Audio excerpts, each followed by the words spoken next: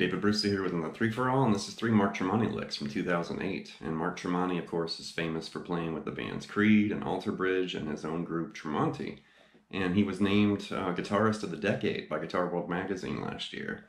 And he definitely has a lot of respect, a lot of fans and followers, and he's influenced, you know, an entirely new generation of guitarists, you know, since the early 2000s. And really interesting. And also, it's it's also noteworthy that the time when Creed and Alter Bridge kind of hit the scene, shred guitar and guitar solos wasn't really cool at that time. You know, the late 90s, early 2000s, people were still kind of scared to play guitar solos. And I remember at that time I heard groups like Avenged Sevenfold and Atreyu, and they had solos, and tapping and stuff. And then all of a sudden I heard Tremonti and he started boosting, you know, his playing, and I heard more soloing, and I heard more licks and stuff, and I thought, what's happening, you know? And it was kind of that resurgence of shred guitar in the early 2000s.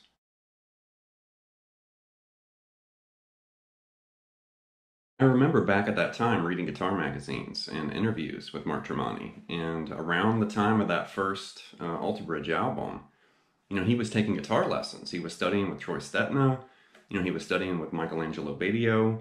I think he also was studying with Rusty Cooley. He mentioned, you know, Paul Gilbert's Intense Rock and uh, John Petrucci's Rock Discipline in these instructional videos and books that are very important. And I found that really interesting because, I mean, at the time, he was already a rock star. You know, he'd already kind of charted and hit the scene with Creed, and they were huge. And then by the time he shifted gears and, and started, you know, Alter Bridge, he didn't have to do that. I mean, he could have just, you know, been lazy and rich or whatever and just kind of not worried about it. But you could tell he was very focused. He wanted to push himself and get better. And I thought that was really interesting and inspiring where I thought, man, he's hungry. He's he's wanting to go further, you know, like a racehorse or something.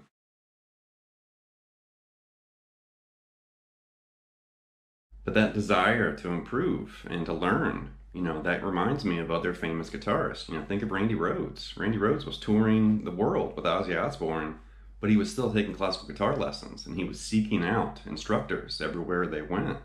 And he would go to universities and colleges and study and take a, you know, guitar lesson from various classical instructors. That's really cool. You know, Satriani, of course, famously teaching people like Steve Vai and Kirk Hammett, you know, Alex Skolnick and the gang and that educational side. You know, I've always kind of noticed that. Uh, Paul Gilbert and Bruce Bouillet, you know, back in the GIT days, um, and then eventually Bruce joined Racer X. That's really interesting. And then in this video, you know, Mark is literally taking a backstage lesson from Rusty Cooley. So this lesson and the footage and everything that we're going to look at is really different than the normal three for all, you know, format. I did find some live, you know, solos from Mark, but when I found this kind of candid backstage footage with, you know, Mark Tremonti, Rusty Cooley, and this pack of just random people, it was really interesting because they were talking about, you know, what they'd worked on that day or what he'd learned that day. So they just had a guitar lesson, you know, right before the footage was shot. And then Rusty's talking about some of the things they learned. And then Mark starts asking questions and Rusty starts shredding and stuff. But when I found that footage, I was like, I'm going to use this because it's on the basis of a guitar lesson that Mark took from Rusty.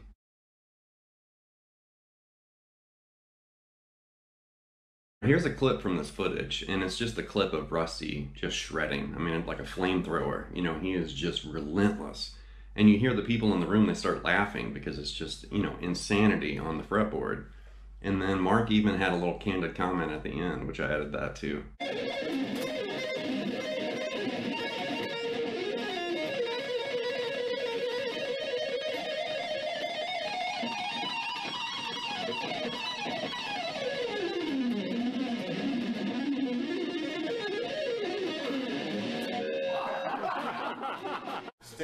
I'm easier to learn. the first lick from this footage is a diminished 7 arpeggio in the key of D, and you literally hear Mark and Rusty talking about the lesson they just did. And Rusty says, you know, we worked on, you know, diminished 7 arpeggios. And he plays this. Which is just a sequenced, you know, diminished 7 arpeggio.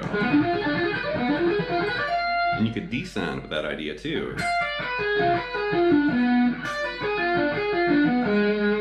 Five note, you know, sequence, which is really cool. So there's one, two, three, four, five, and then right there, grab that D note again and go up five more notes. Mm-hmm.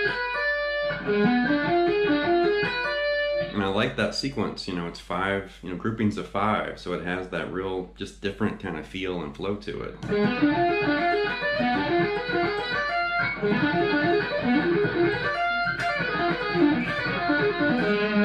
You could actually extend that all over the fretboard. You could do something like this. You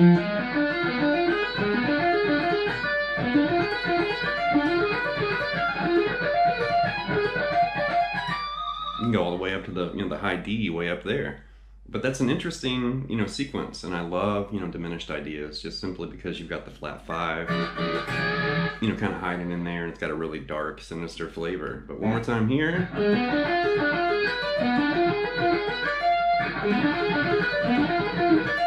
And here's the footage from this, you know, backstage kind of candid lesson. And check out Rusty just shredding that, you know, at the speed of light. We did some diminished seventh stuff. How does that work?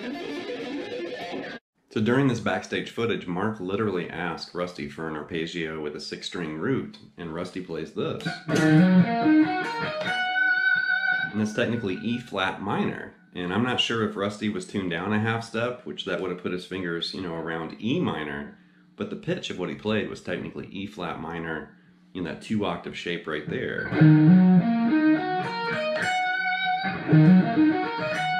And then eventually he shifts up to the next position of E flat minor and comes down a different arpeggio. So he goes up this way, shifts, and then comes down like this.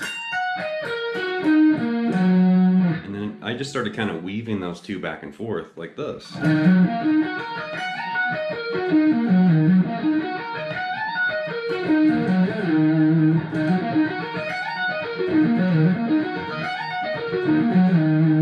you can alternate pick through that like Steve Morse or you can sweep it, you know, it's up to you.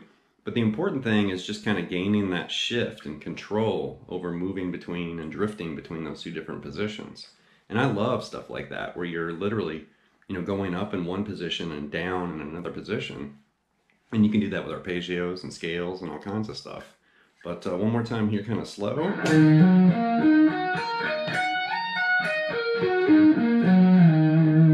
A little faster.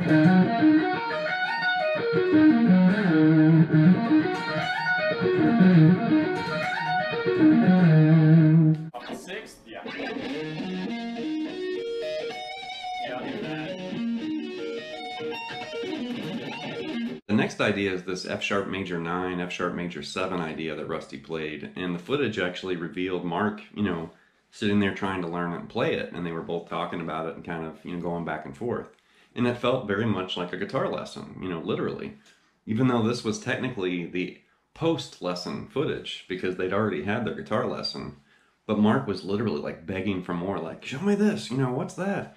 But uh, something like this.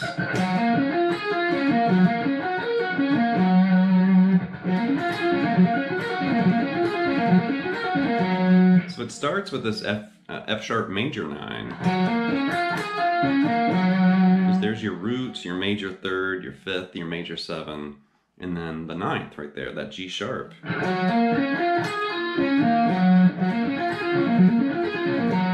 And then he changes it and he reaches up and grabs that A sharp.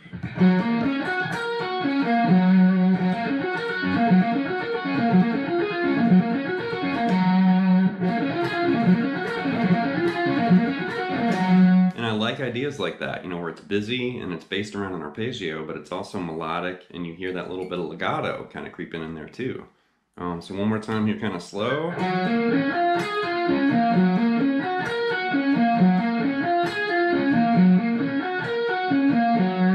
And in this footage, Rusty actually expands that, and he's just flying through whatever he played, which I didn't take the time to learn his expanded version because it was pretty terrifying. I just wanted to show the basic idea, and then you can take that ball and run with it like Rusty did, because, uh, well, you'll see when the footage plays. It's, it's terrifying.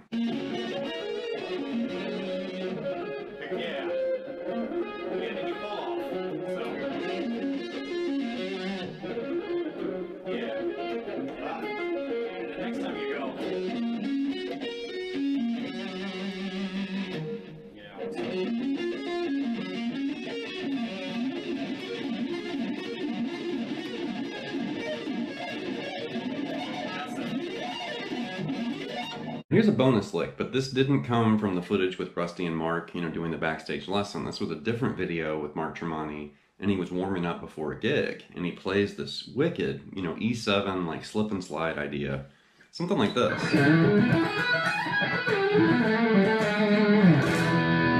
One more time.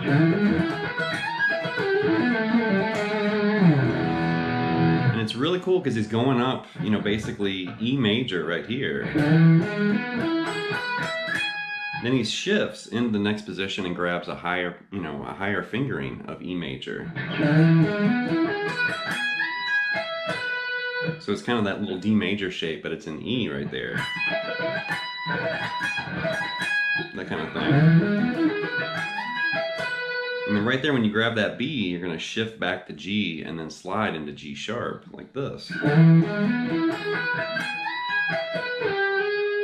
then come down and grab that E and the B on the D and the G, uh, A string. And then you're to grab this A note and sl- shift slide it, you know, back and forth into the flat five, come back to that G, and then grab G sharp.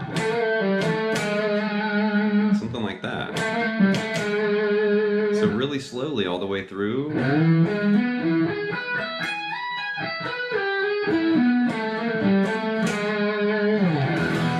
And he just ends with that big E power chord down here.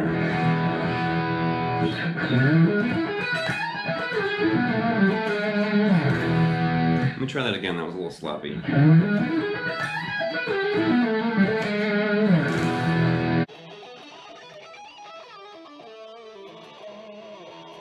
That's going to wrap this look at three Mark Tremonti licks from 2008, and hopefully nobody's unhappy or upset that I kind of focused on the lesson that Rusty and Mark were having, you know, back in 2008, instead of just focusing on Mark Tremonti, which uh, I do plan on doing some more, you know, uh, centered around Mark Tremonti. We're definitely going to have a chord play coming at some point because Mark's chords and his, you know, progressions and ideas are really interesting and musical too. But uh, when I found the footage, I was like, no, this is cool because I remember reading about Mark, you know, boosting his technique and his chops. And that's right around the time when that video was shot, you know, maybe a few years after that initial boost, you know, when he uh, formed Alter Bridge. But I always thought that was so, you know, special. I thought, no, he's he's trying to improve. He's pushing himself. And especially when it's a rock star, that's really rare because usually stars don't want to you know, admit their weaknesses or show their fans that there's something they can't do or whatever. And it's like, no, he was like humble and respectful and hungry for that knowledge and more, you know, ability and more, you know, more technique basically. So that's inspiring. That's what, you know, a big part of this channel is about. That's a big part of me. That's a big part of probably you too is, you know, striving for greatness and trying to improve your musicianship and your playing and your technique and your knowledge and that's what Mark was doing, you know, way back when, uh, when this footage was shot. So anyway, leave some feedback and some comments. Please subscribe to Late Night Lessons, and I'll be back before you know it with more content material. Thank you.